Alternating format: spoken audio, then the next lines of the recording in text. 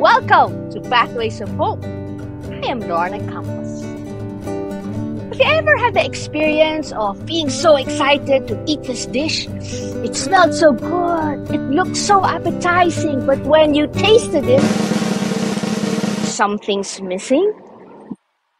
Once I was on vacation and I was gonna cook this delicious meal for my husband, and I brought all his special ingredients.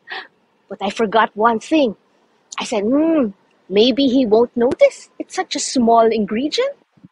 So I cooked it. I made it so appetizing. I was so cheerful when I presented it to him. Did he notice? Mm, he couldn't be tricked. Guess the missing ingredient. So small, it was salt. In Matthew 5 13 to 16, Jesus calls us, You are the salt of the earth and the light of the world. Let's focus on salt.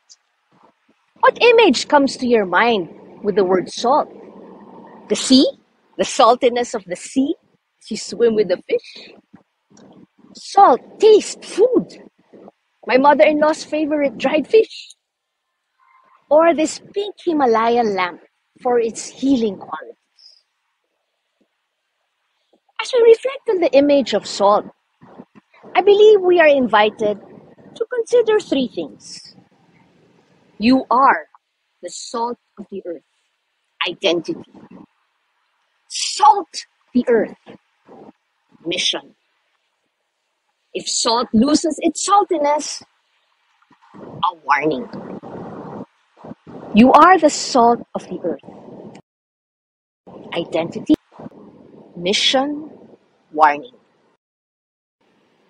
Did you know that in the Roman times, the soldiers were paid sometimes in salt? Salt was such a valuable commodity then. It was expensive. The Latin word sal, for salt, is the derivative from which the English word salary comes from. So when Jesus says, You are the salt of the earth, he's telling us we are valuable, we have worth. Mission salt the earth.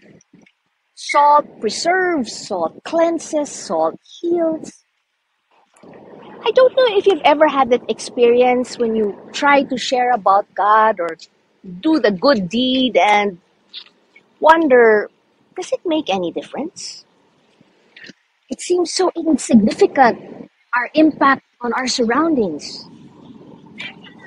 Remember the dish I tried to serve my husband, hoping he wouldn't notice what was lacking? He noticed, right? So when salt is missing, it's noticeable. So persevere in salting your environment. Persevere with your kindness, with goodness, with purity. It makes a difference. Even though we're unaware, it makes a difference.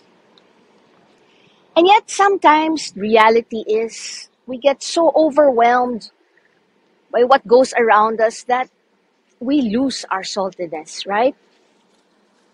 We become like everybody else and we get caught up in, in what's going on. We even sin, our personal weaknesses.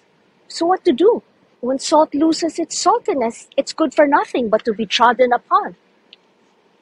Here we have hope. Where sin abounds, grace abounds. And by the mercy of God, He can restore our saltiness.